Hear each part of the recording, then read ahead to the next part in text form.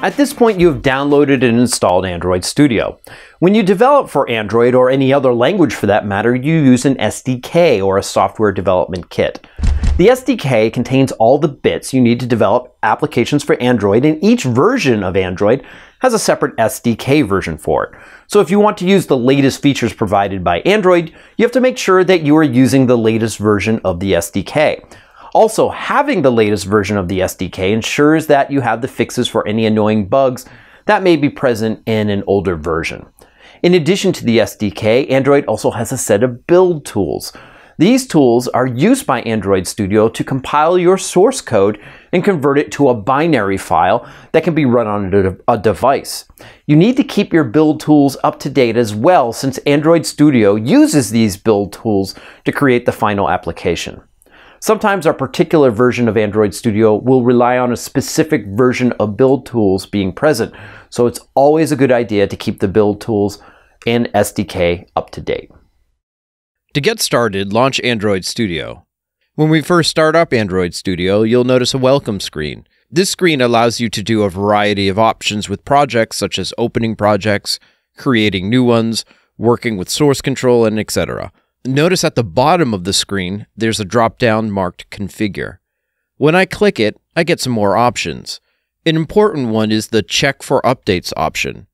Android has frequent updates, and that it is possible that while Android Studio itself may be up to date, there may be some updates to the Android SDK or build tools that you'll need. Another option is the SDK Manager. This allows you to install a particular version of the SDK. Let's give that a click. Okay, here you can install additional SDKs for different Android versions by checking the relevant boxes under SDK platforms.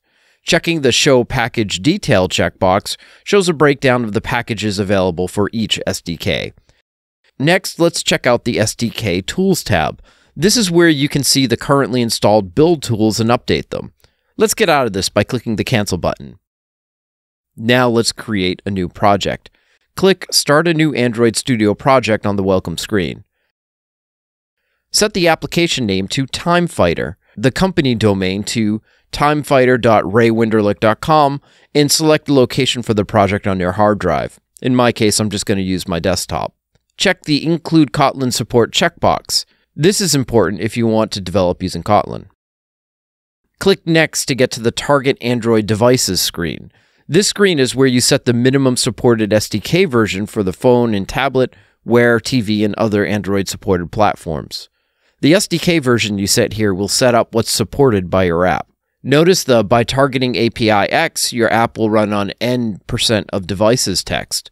The newer version of the SDK, the fewer devices you'll have running that version, but you'll get the newer features. Also notice the Help Me Choose link. Clicking that link gives you more information about the features available for each SDK platform. You can click on each SDK version in that screen to see the feature list. You have to balance the features you want against supporting the most number of devices. If it isn't already selected, select the API 16 Android 4.1 Jelly Bean and then click Next. The activity screen determines the template for the default activity in your app. An activity is a way to display content and to let the user carry out actions. The screen allows you to select templates for commonly used types of activities, but you could select something like a basic activity or an empty activity and add controls to customize the activity to look any way you want. Select empty activity and click next. You'll use the default values here, but if you want, you could customize the name of the activity and the name of the layout here. But don't worry, you'll learn about layout soon enough. Click Next and then Finish.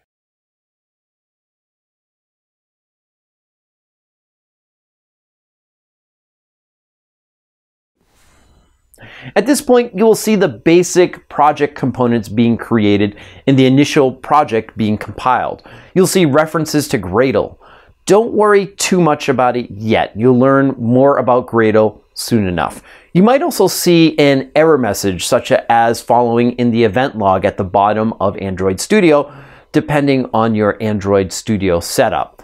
For example, you might see failed to find target with hash string Android-26.